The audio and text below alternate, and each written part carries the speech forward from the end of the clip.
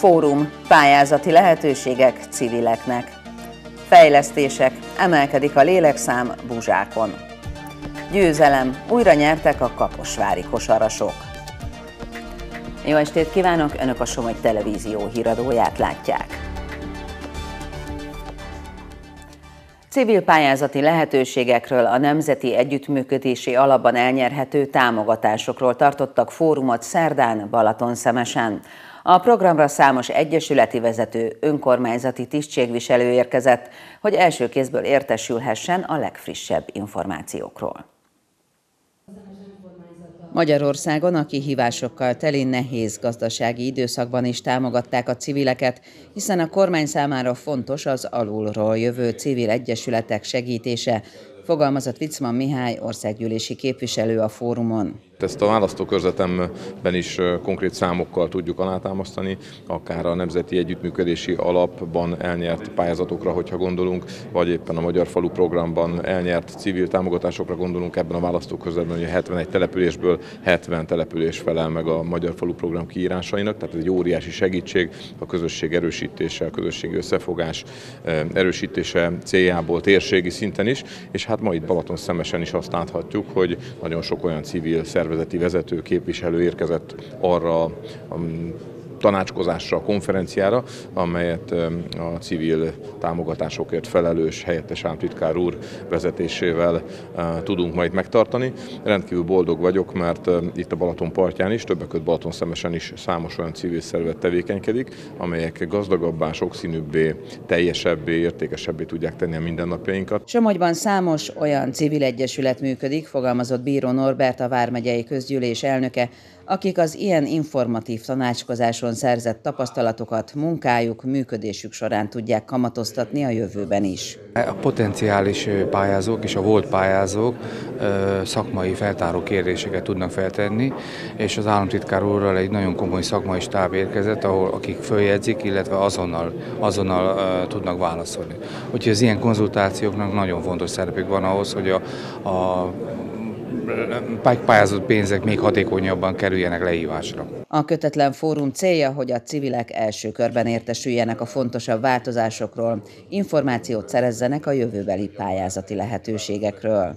Hozunk pályázati híreket is, jó híreket is, és itt egyébként pedig azért az a célunk is, hogy, a, hogy beszélgessünk az emberekkel. Tehát én kifejezetten beszélgetősre szeretném venni a dolgot, hogy mondják el, hogy mi az, amit jónak tartanak, mi az, amin változtatnának a helyünkben, milyen gondolataik vannak a, a pályázati rendszerrel kapcsolatban, és ebből mi is okulunk, és felírjuk őket, összesítjük, és akkor döntünk arra, hogy hogy nézen ki a kiírás, akkor, akkor figyelembe veszük azt, amit a, a honfitársaink elmondtak itt.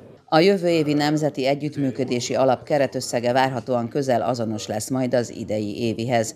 A helyettes államtitkár ugyanakkor felhívta a civil vezetők figyelmét arra, hogy várhatóan egy-két hónappal később jelennek majd meg a pályázatok, hiszen azt csak a költségvetés elfogadása után tudják közzétenni.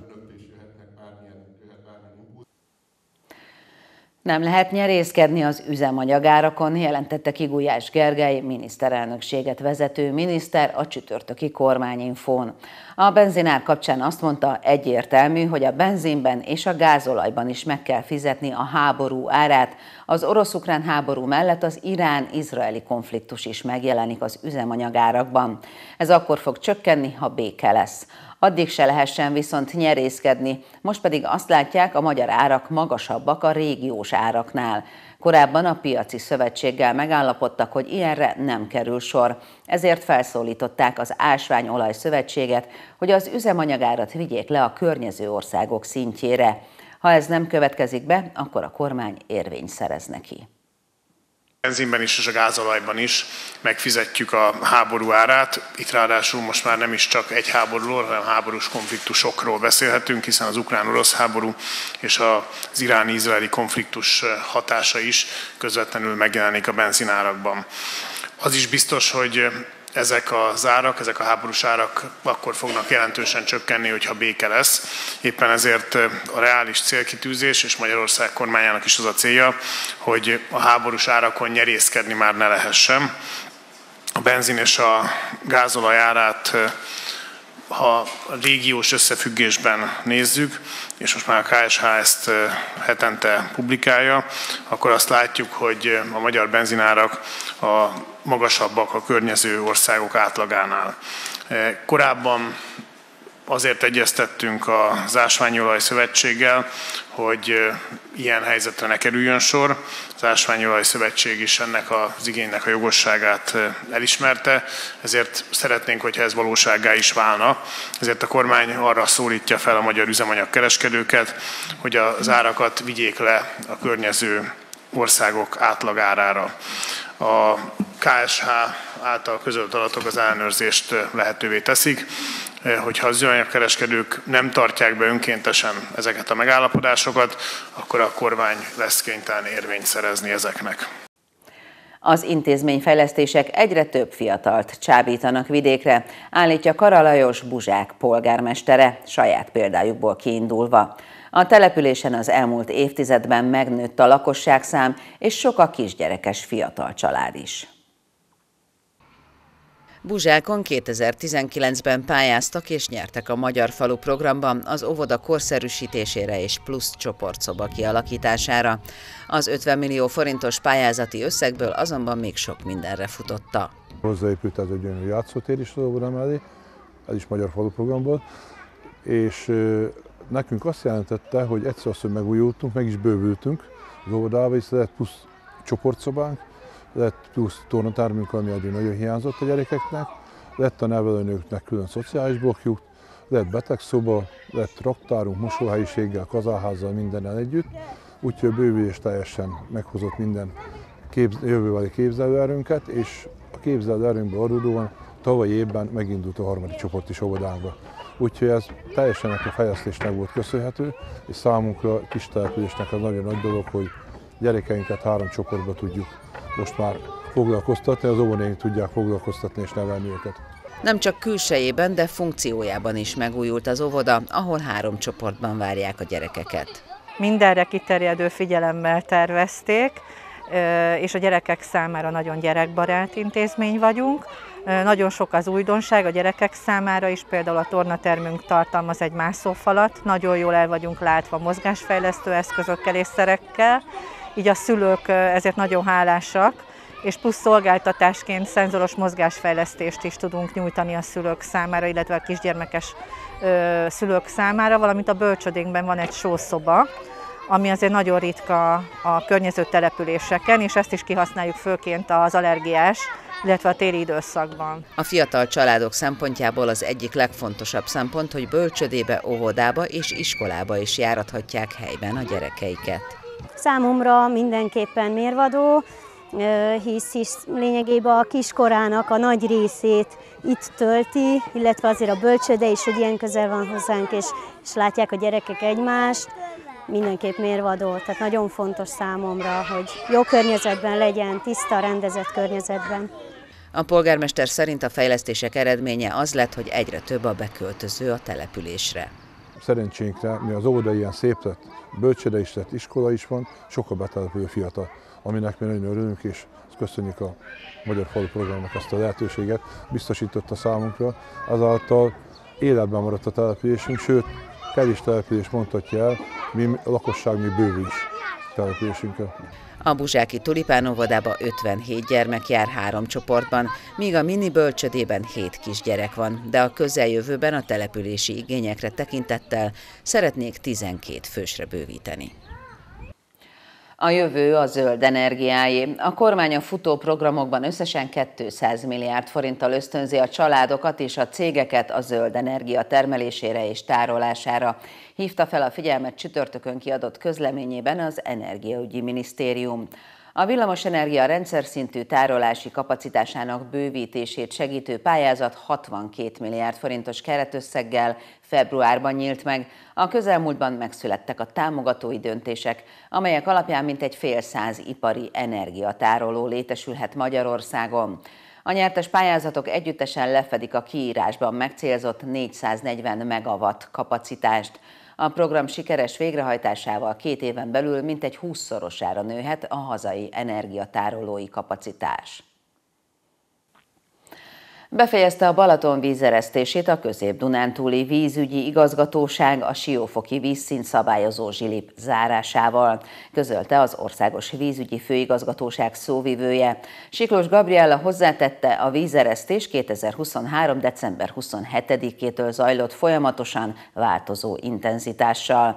A befejezésről hozott döntés a hidrometeorológiai előrejelzéseken alapul, hiszen a következő időszakban várható hőmérséklet emelkedés emelkedés miatt növekszik a tó párolgási vesztesége, mondta. Megjegyezte, a Balaton átlagos vízállása jelenleg 122 cm, ami ideális kezdetet jelez az üdülési szezonra. Újabb sikert aratott a Kométa Kaposvári KK a férfi kosárlabda alsóházi rájátszásának negyedik fordulójában. Filipovics Márkóék ezúttal a Kecskemét csapatát fogadták, és egy nagyon hullámzó mérkőzésen végül is 83-76-ra múlták felül Stojan Ivkovics csapatát.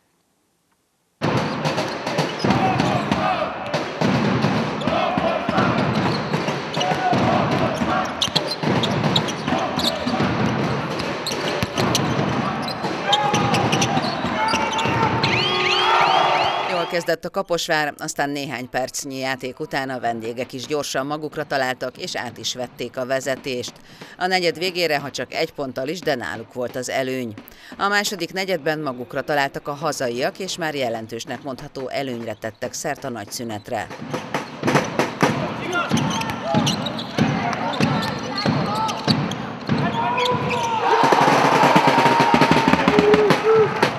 folytatásban ugyan kevesebb ponttal, de tovább növelte előnyét a Kaposvár, míg az utolsó negyedre kicsit kiengedtek, így a Kecskemét a meccs lefújása előtt két perccel hat pontra zárkózott, de a hazaiak végül is egy győzelmet már nem engedték ki a kezükből. Én szerintem nekünk ez a meccs nagyon jól jött. Egyetlen rossz az a meccsből, hogy kikaptunk. Második negyed, ez, ezt se értem. Van ilyen negyedek a, a, a, a bizonyos meccsek, melyik egyszerű, mi, mi iszlám abad vagyunk, hogy valahol a, a, a, a, a között-keleten harcolunk, ha valaki ellen, nem a kosarazunk. Úgyhogy uh, én a, tudom, hogy tovább is megteszem maximum. A hazaiak vezetőedzője szűkszavú nyilatkozattal értékelte a mérkőzést, és már a következő találkozóra koncentrált. Congratulations for, to my players.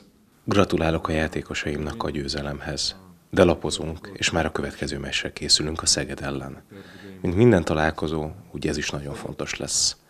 A kuba döntőben is játszhattak. Ez azt jelenti, hogy jó egyéni kvalitásokkal is rendelkeznek. They are, they played already in the final of a Szeged elleni találkozó szombaton 18 órakor kezdődik a Tiszaparti városban.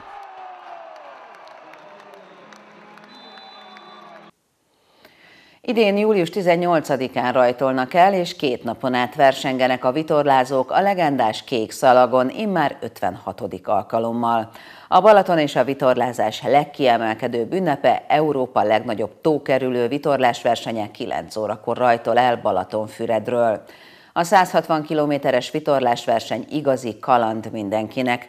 Az első 1934-es kékszalag győztese a Rabombán nevű 30-as cirkáló lett, amely 21 hajó között ért elsőnek célba. Kormányosa Ugron Gábor a Magyar Vitorlás Jacht Szövetség elnökeként is támogatta a verseny létrejöttét.